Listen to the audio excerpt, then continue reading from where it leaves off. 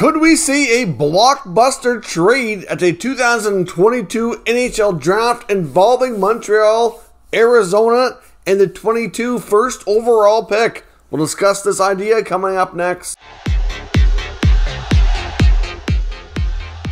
So welcome back to another video here at Top Shelf Hockey. As I mentioned, we have a very interesting trade idea I want to talk to you about here today, see what everybody thinks before Habs fans get out of their mind and say how ridiculous this idea might be. I just want to preference where it came from and where you should direct your feedback if you really don't like the concept. Essentially, this was an idea discussed on the 32 Thoughts podcast hosted by Jeff Marek and Elliotte Friedman. It's an idea that Marek brought up to see what Friedman thought. Of course, uh, if you listen to that podcast regularly or follow along with those two guys on Sportsnet between their Hockey Night in Canada segments and the podcast, you'll know that Jeff Marek uh, likes to uh, create some pretty interesting ideas sometimes, and he absolutely thrives on seeing chaos amongst the NHL and just wild ideas. Uh, he's pretty creative. a lot of times, Elliotte hates his ideas and is not afraid to tell him so. The banter back and forth is fun to listen to. And if you follow along with this channel, you'll know that I'm a big fan of that podcast and their work, and certainly follow it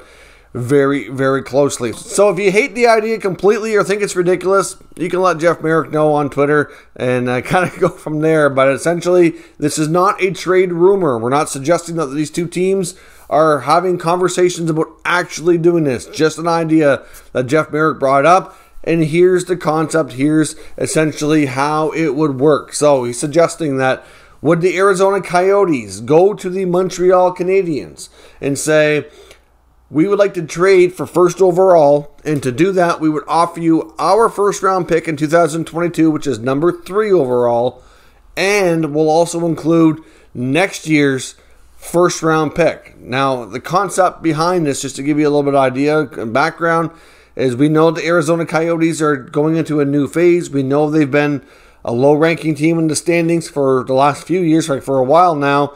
But based on where things are going, they're going into a much smaller arena next year. They shed a lot of contracts, a lot of, you know, not all, but a good chunk of players that are, you know, better quality. They're, they're bound to be in a situation where they're probably not going to want to be overly competitive for the next few years to get some high draft picks. So essentially, a lot of people, even though it's way too early, are writing them off and suggesting that they will probably be the 32nd ranked team in the NHL next year. I guess only time will tell if they will be right. I wouldn't be thinking that, that is completely unrealistic. It very well could happen. We'll have to see what they do with their roster as the offseason begins to unfold here. But I guess a couple of things to keep in mind. We know that the Montreal Canadiens are hosting the draft this year.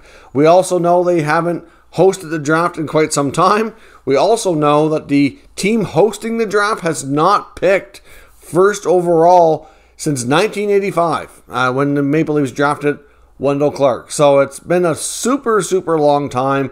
Uh, the Montreal Canadiens have a new regime here with Kent Hughes and Jeff Gorton, and this is going to be a big deal. This is going to be the first in person draft in a few years. Obviously, the last two have been done virtually, which is really not a lot of fun uh, from an entertainment and fan perspective. So the fans will be filling the building. Montreal has a lot to consider here, not only for their team and what's best, but you know they, they don't certainly want the fan base turning on them and getting uh, pissed that they're trading the first overall pick that the first time they've had it in in forever and a day. So with all that in mind, I guess you can look at the odds here of Arizona getting the first overall pick next year and how this could all work. Essentially, now here's another part of this to keep in mind. Montreal right now is picking one, Arizona is picking three, and in between them you have New Jersey. Now, at the top of the draft board, you've got Shane Wright, who's expected to go number one, um, been the consensus number one overall pick for quite some time. Uh, you've got uh, Logan Cooley, who's arguably that 2 3 spot. Uh, most places have him at number two.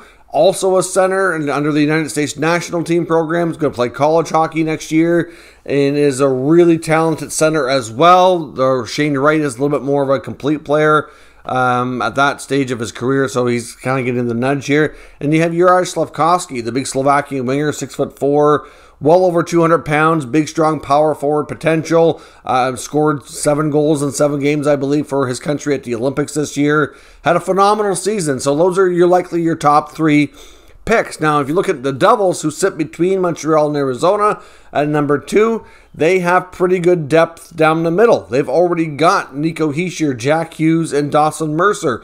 So would they want to take you know, a Shane Wright or a Logan Cooley if they were fortunate enough to grab one of those prospects. I think when you're picking second overall, you quite often have to go with best player available is always the wise move. You never know what centers might not play center at the NHL. Some might turn out to be wingers. I've seen NHL rosters be filled of former center icemen uh, turned into wingers. It, it's just the nature of how things go. Not everybody is going to be drafted. And if you're good enough as a center at the lower levels, it doesn't mean you're going to be that in the NHL. So, so you have to think about that. But number two to factor in here with all this is between Slafkovsky and Cooley, depending on where your head is at and what prospect ranking system you want to follow, there's a lot to have them flip flop between two and three. So it's possible that regardless of best player available and thinking of position, that the Devils might see Slafkovsky as being the best, like number two best prospect in this draft. That's a real solid possibility, and they might have him penciled in to be their guy. So, I mean, you could see a scenario where Montreal, let's say Montreal does something unexpected and won at Cooley over Wright, which is not something we're hearing right now.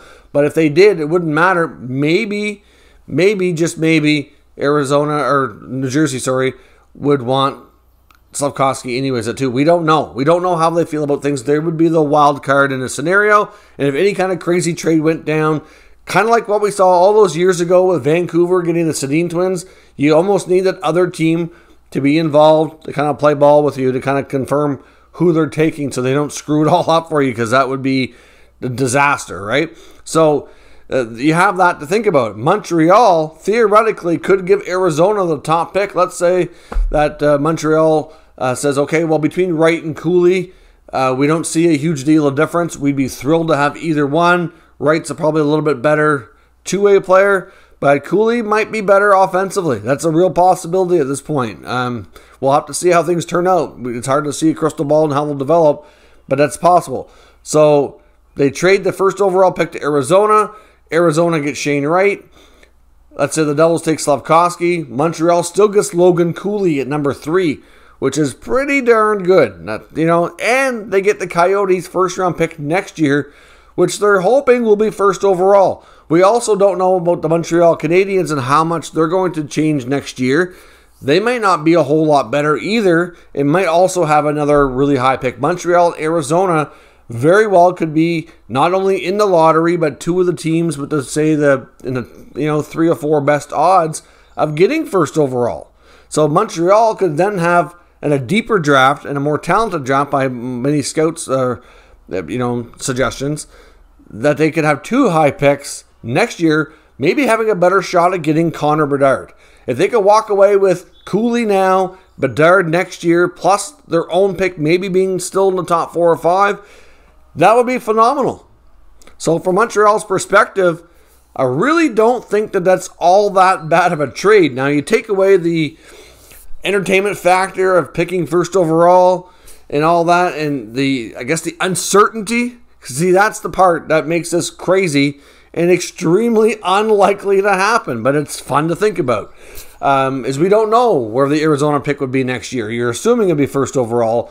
Now, from the Coyotes' perspective, here's the thing.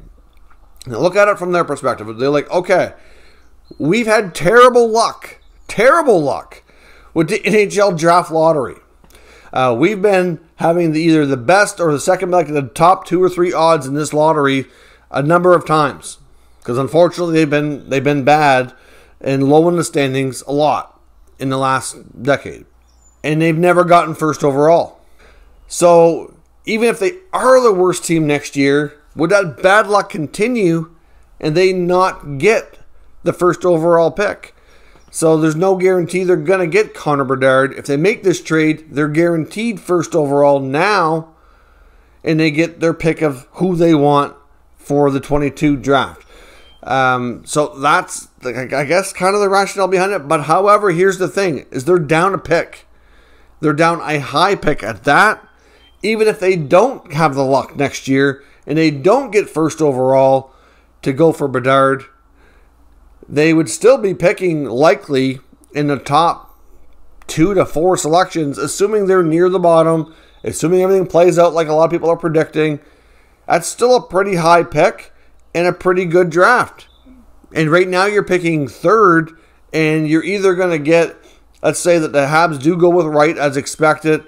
If the Devils, they either go with Slafkovsky or Cooley, and you're going to get the other guy.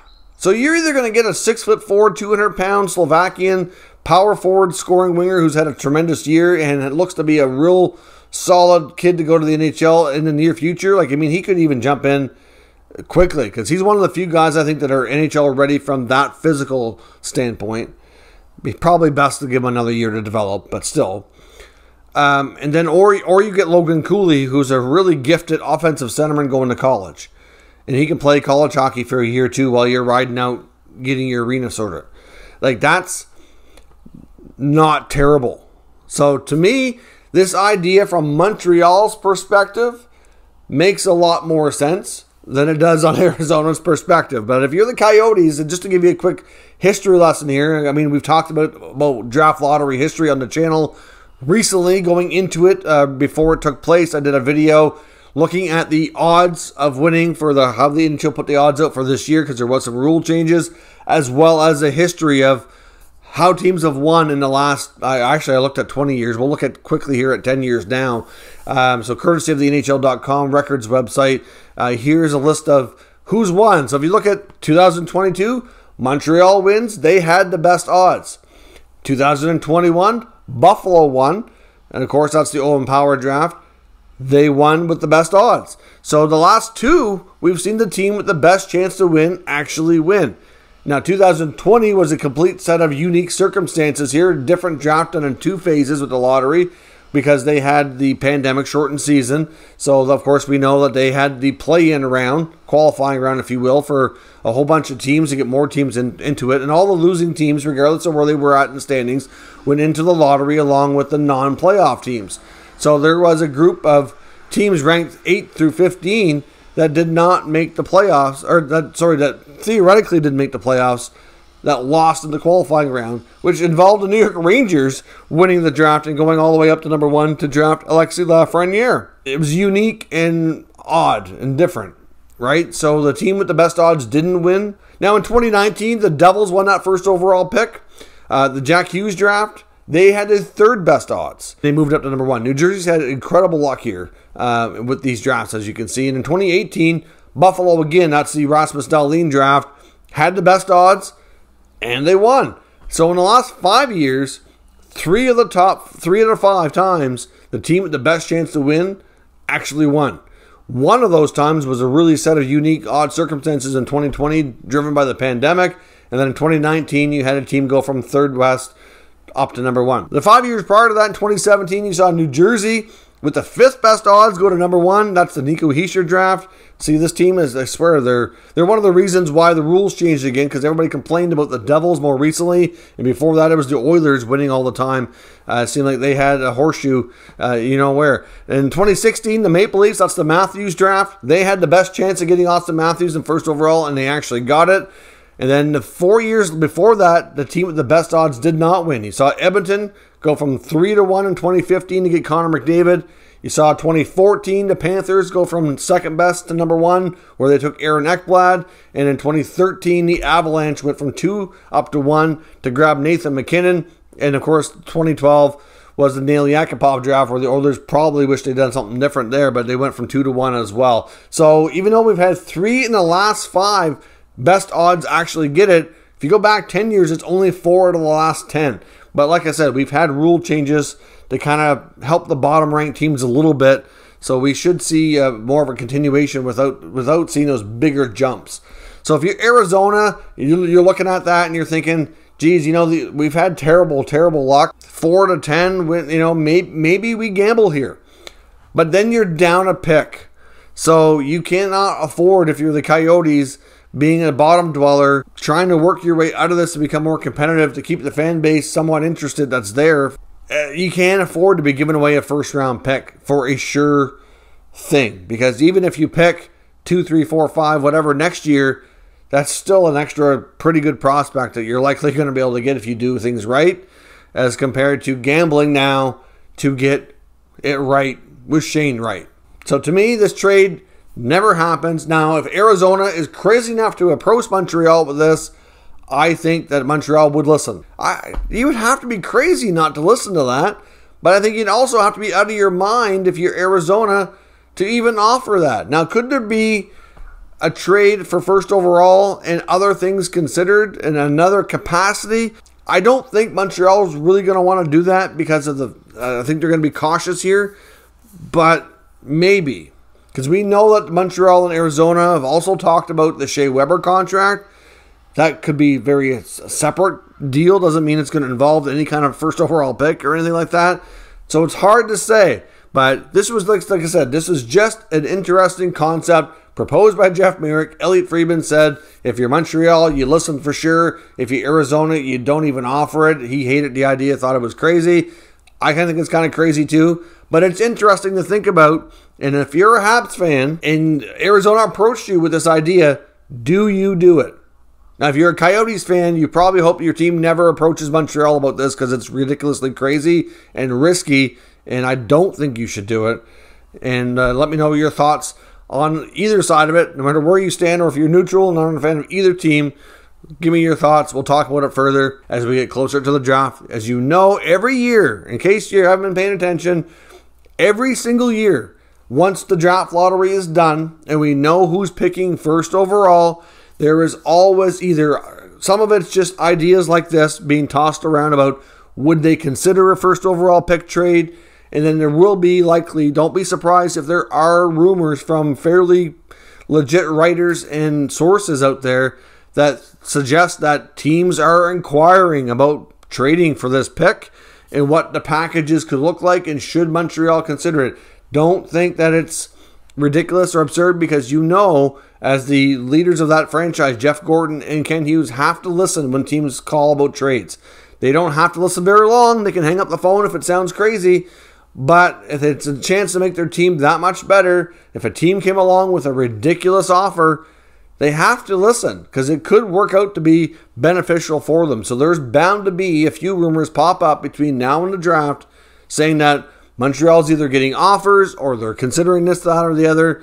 And it doesn't mean any of it's going to happen, but that's what we do here is we talk about what's being discussed in the hockey world to see what everybody thinks and just to have a fun conversation. So let me know your thoughts around this crazy idea down in the comments. We'll discuss further. And if you're new to this channel, make sure you subscribe and stick around. We'll keep you up to date with all things related to the 2022 NHL draft, as well as all the news, rumors, and of course, we analyze all 32 teams here at Top Shelf Hockey. Thank you very much for watching, and I will catch you next time.